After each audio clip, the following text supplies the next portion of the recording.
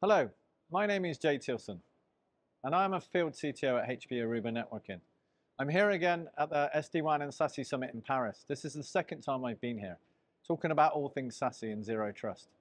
It's actually really good to be back. It's been a whole year since I was here, so I'm here really talking about the state of the market and seeing how things have changed within SASE and Zero Trust. I'm actually happy to announce that things are moving. Maybe not as, as quickly as some people would like, but they are definitely moving. I think with the introduction of uh, zero trust within NIS2 and a lot of other regulations, I think people are really beginning to see the power.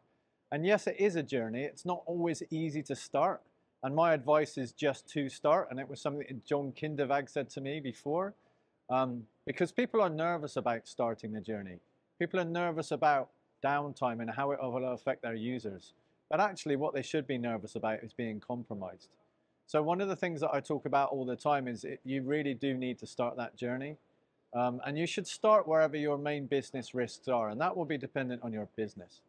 Um, but I'm, I'm, like I said, I'm happy to be here. It's good to see some familiar faces and some friendly faces. And I'm super excited about coming back again next year. I really want to see how things have progressed. Uh, and it's really good, I think, events like this are, are, are useful because you get to speak to peers, you get to speak to customers and prospects, and you really get to see how their journey is going. And I think for me that's important.